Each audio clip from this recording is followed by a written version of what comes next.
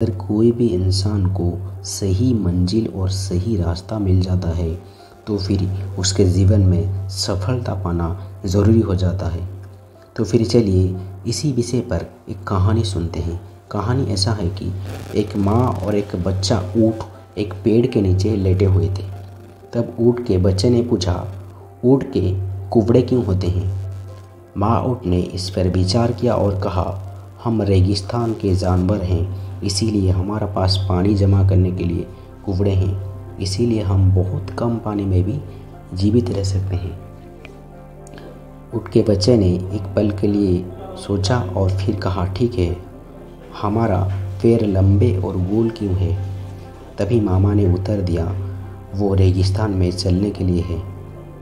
बच्चे रुक गया और हमारा पलके लंबे क्यों है?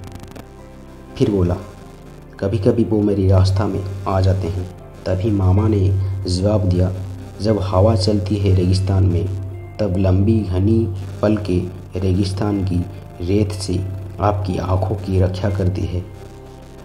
बच्चे ने सोचा और सोचा और फिर उन्होंने कहा, मैं देखता हूँ तो जब हम रेगिस्तान में होते हैं तो कुबड़े पानी जमा करने के लिए होते हैं? पैर रेगिस्तान में चलने के लिए होते हैं और ये पल के रेगिस्तान में मेरी आँखों की रक्षा करती है।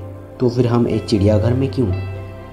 दोस्तों, इसमें से हमको सीखने को मिला, अगर आदमी का पास कोई भी कौशल और योग्यताएँ हैं, वो तभी काम आता है जब भी उसके लिए एक सही रास्ता और एक सही जगह है।